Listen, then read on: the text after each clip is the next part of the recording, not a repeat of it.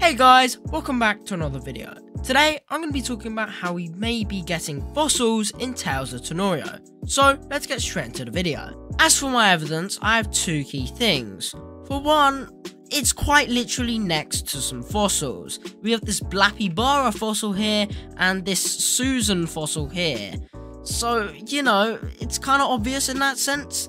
As well as on the roadmap, it quite literally says restoring strange Tanorians. And if you know anything about Fakemon games and their fossils, is you normally restore them through some special machine and then you'll get the original creature. So I think that will apply here for Tales of Tanorio. Just these two factors make too much sense, almost.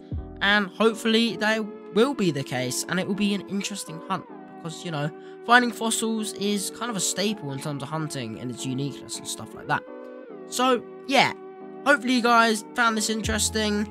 I gotta thank Shrewstorm for getting me on the right track here. I genuinely thought that this was gonna be dungeons, and my heart was kind of shattered when it wasn't.